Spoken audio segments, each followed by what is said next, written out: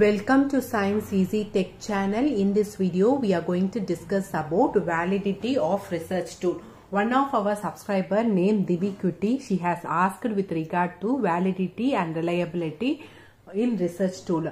So, like that many subscribers have also requested for validity and reliability um, video.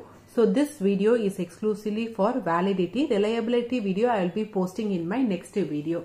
So this is taken from uh, unit uh, 5 that is uh, methods and tools of data collection and uh, this video is useful for BSc nursing students, post basic BSc nursing students and students who are studying MSc nursing. So this video is taken from the subject nursing research and statistics.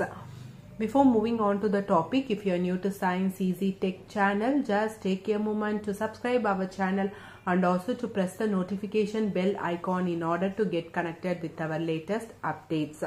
Let's move on to the topic. Validity of research tool. Mostly they will be asking validity and reliability in 5 marks. So they combinedly they will be asking or sometimes only validity they will be asking in 5 marks or only reliability they will be asking in 5 marks. So if they are asking combinedly write this notes as well as the notes what I am going to post in my next video that is reliability combine it and write it. Uh, sometimes they will be asking in 2 marks what are the different types of validity. So that time you have to list down the types of validity. So let's see what is validity of research tool. Introduction to validity. Validity is a property of an inference. So it is a property of an inference. A valid tool should only measure what it is supposed to measure. Example, a thermometer is supposed to measure only the temperature. A sphygmomanometer is supposed to measure only the blood pressure. So validity means it is a property of an inference. A valid tool should only measure what it is supposed to measure. For example, if you are taking thermometer, you can tell the thermometer very well measures the temperature. Okay. Similarly, when you are taking a BP apparatus, you know it measures what? It measures the blood pressure. So moving on to definition of validity. Validity refers to an instrument or test actually testing what it's supposed to be testing. So validity refers to an instrument. The instrument can be a questionnaire, an interview, uh, a scale, checklist, a pain scale or anything like that. It can be in any methods of data collection. We have seen no rating scale, like a scale like that and all. Anything. So validity refers to an instrument or test actually testing what it's supposed to be test testing. Okay? What it is supposed to test if the instrument suppose if you want to uh, assess the attitude of uh, patients on HIV AIDS um, so that time you have to formulate a Likert scale which will be suitable for HIV patients uh, attitude you are going to assess. Okay, so validity refers to an instrument or test actually testing what it's supposed to be testing. Validity, this definition was given by Treece and Treece. Next, the definition given by Polit and Hungler, which is a standard book for nursing researcher and statistics. Um, validity refers to the degree to which an instrument measures what it's supposed to measure. Validity refers to the degree to which an instrument measures what it is supposed to measure. This definition was given by Polit and Hungler. Moving on to the types of validity, you have six main types of validity.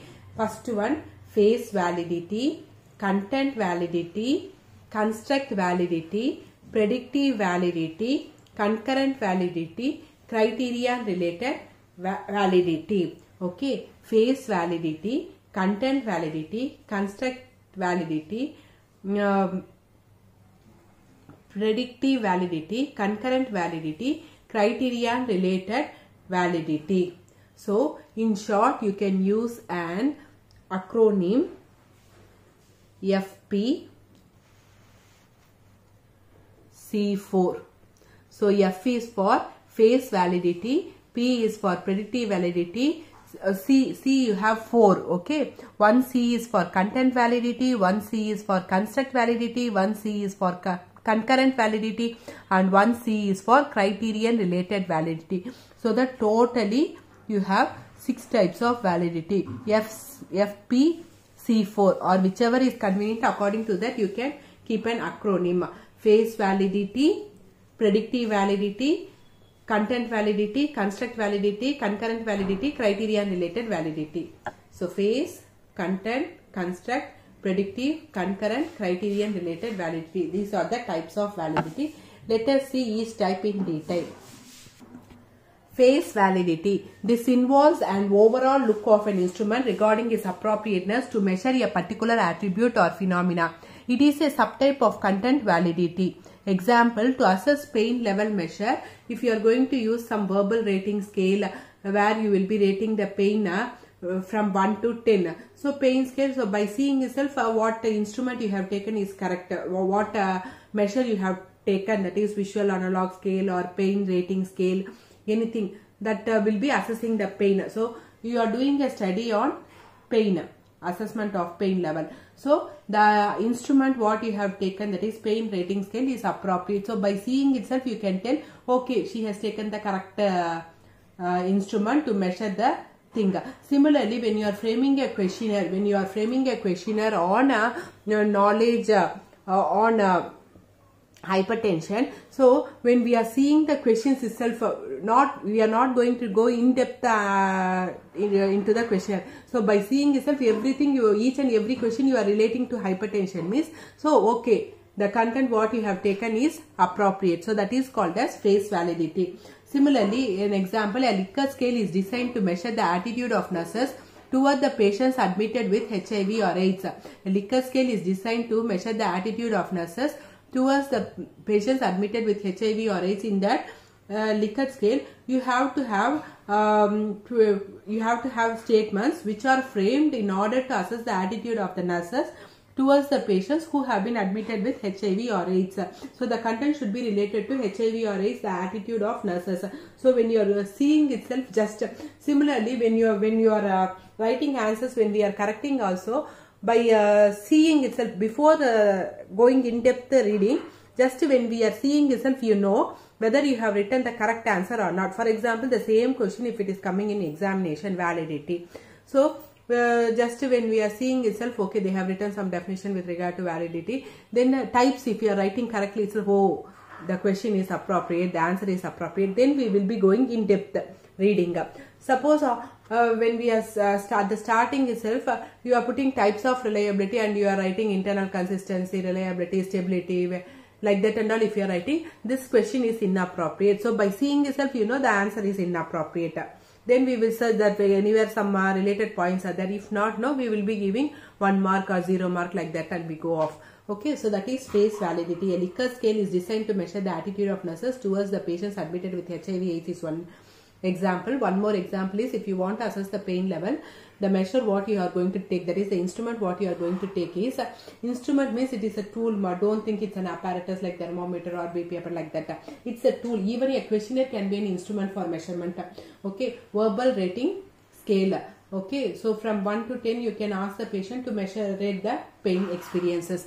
Next is content validity So content validity, this is concerned with the scope of coverage of the content area to be measured. It is applied in test of knowledge measurement. The content should be adequate, appropriate and complete.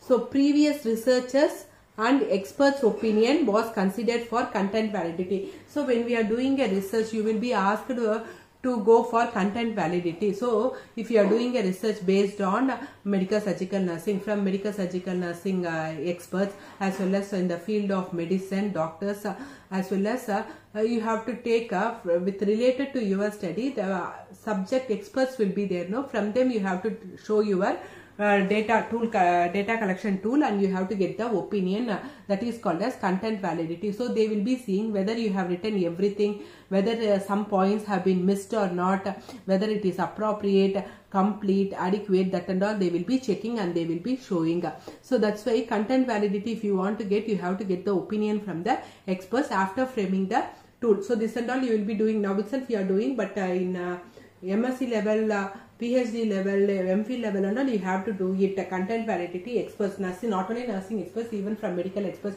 Suppose your uh, um, thing is uh, with regard to some psychological uh, issues, then you have to get from uh, psychologist. Uh, psychiatrists like that and all okay so so from concerned experts you have to get they will be seeing whether the content you have given is appropriate adequate and uh, complete according to the level what you have taken what research you have taken for example, a depression measure should cover the checklist of depression symptoms. So all the depression sy- symptoms and all should be there. If something is missing also, the experts like uh, psychologists uh, or psychiatrists uh, or uh, psychiatric nursing uh, personnel, so they will be telling so that you can modify your tool also. Next is construct validity. Construct validity. This is concerned with the questions, the concept under investigation being adequately measured. Is there a valid basis for inferring the scores? Evidence of construct validity is not established with a single study. Variables like anxiety, creativity, job satisfaction, attitude towards numerous phenomena, intelligence, empathy, dependency, power, self-concept, etc. are all constructs. So, when you have formulated a tool, whether these uh, constructs are included according to the study, not all these variables what I have told. If you are studying anxiety uh, level, whether the questions are appropriate uh, in assessing the anxiety level, whether the checklist is appropriate in assessing the anxiety level. Okay, like that, uh, uh, the, inst- the instrument will have all the data with regard to the particular phenomena what you are taking. So construct validity, this is concerned with the questions, the concept under investigation being adequately measured or not. Is there a valid basis for inferring the scores or results.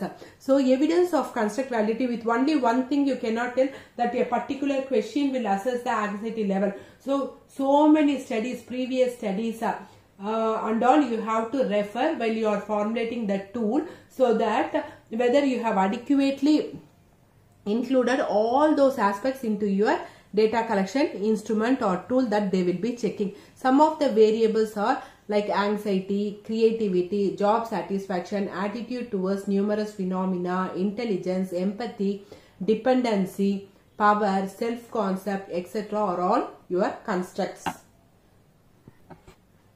Next is predictive validity. This refers to the adequacy of an instrument in predicting performance or behavior of individuals on some future criteria.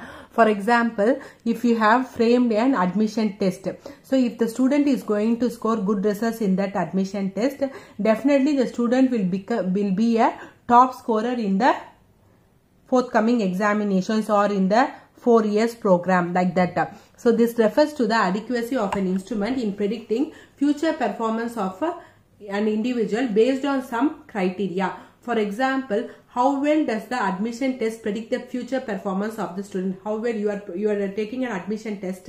So in the questions, how it is going to be constructed so that it can determine the future performance of the individual. Suppose the uh, student who is scoring more marks, definitely he, he or she will be a bright student and he will be scoring more marks in the future also. Suppose if the student is not performing well in the admission test, definitely the student will be a slow learner like that. So the ability of one measure to predict the future measure of the same concept. So here we are assessing the academic performance by means of admission test which is going to have an influence on the future performance in the academics of the student.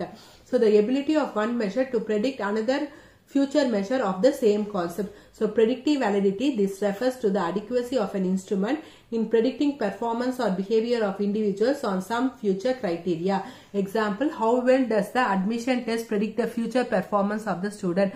The ability of one measure to predict another future measure of the same concept. Next is concurrent. Concurrent means simultaneous. Concurrent validity. This refers to an instrument's ability to differentiate individuals who change on a present criteria.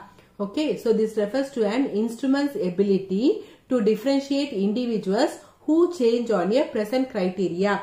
It involves concurrent that is simultaneous measurement of the scale being validated.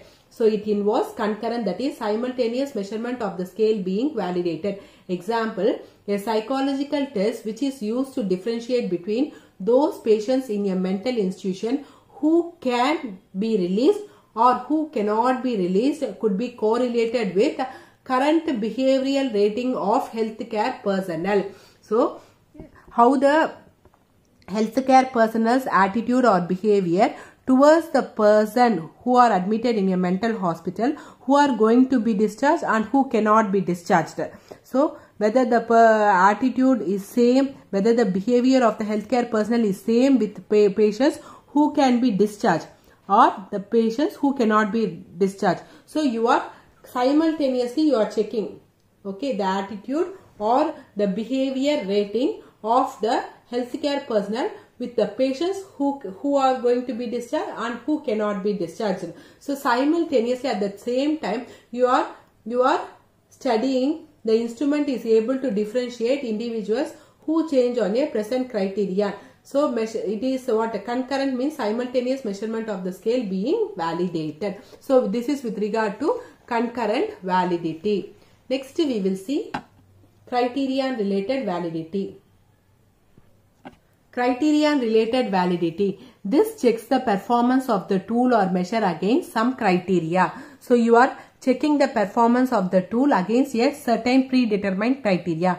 In criterion related validity, a prediction is made about how the tool will perform based on our theory of the construct. So this criterion related validity, it includes both construct validity and uh, predictive validity. So this checks the performance of the tool or measure against some predetermined criteria. In criterion related validity, a prediction is made about how the tool will be performing based on our theory of the construct, based on how you have formulated the tool. Example, the instrument measuring anxiety state is said to be valid if the anxiety scores correlate with some criteria such as a person. How we are telling, so anxiety scale you have formulated. Suppose a person is appearing for examination, definitely he or she will be anxious. But uh, uh, for easy subjects, the anxiety level will be very less only. But for more difficult subject, the anxiety level will be more. Okay. So, the instrument measuring anxiety state is said to be valid if the anxiety scores correlate with some criteria such as person who are known to be anxious. Example, students prior to difficult examination would be expected to have high scores on the anxiety scale. Students prior to difficult examination would be expected to have high scores on the anxiety scale. Compared to that of examinations which are very easy. Okay only with difficult examination the anxiety level will go up. Okay compared to other exams Hope this video is clear for you all. If you like my video, please give me a thumbs up, share and subscribe to Science Easy Tech channel. As I have told earlier, my next video will be on reliability. So, this video has given you a detailed explanation about validity and its types which is more than enough for 5 marks question. Usually they will be asking in 5 mark question. If they are asking only types of validity it will be coming for 2 marks question. Okay. So in 2 mark question just they will be asking you to list down the types. Just list down the names of the thing. Okay. So if you have any doubts, please feel free to post your doubts in comment section. My previous videos link I have given in description box as well as suggested end card and icon. Also, you can watch our channel playlist for more videos. Keep supporting to Science Easy Tech channel.